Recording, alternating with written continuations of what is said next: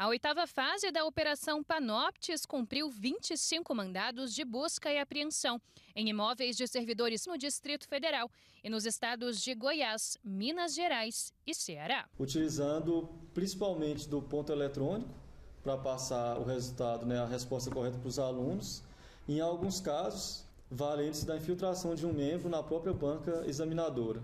Durante a prova, preencheu esse cartão de resposta com apenas três, quatro questões deixava o restante em branco.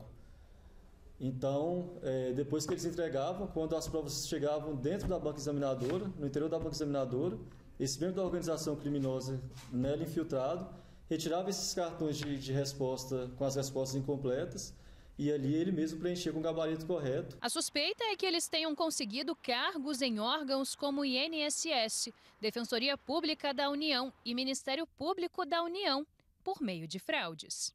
Os investigados participaram dos processos seletivos de 2015 a 2017. Agora suspeitos de fazer parte da máfia dos concursos, eles podem responder pelos crimes de fraude, corrupção ativa, falsificação de documento público e organização criminosa.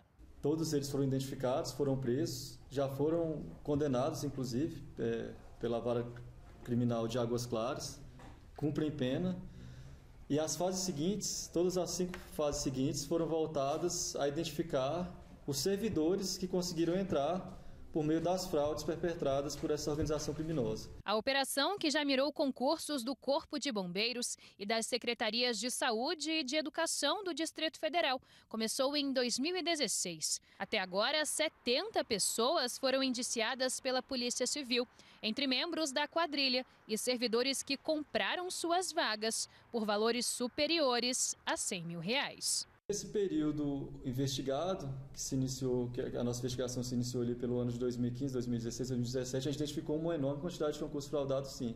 Não dá para dizer todos, mas muitos foram, foram fraudados por essa organização criminosa e por outros também.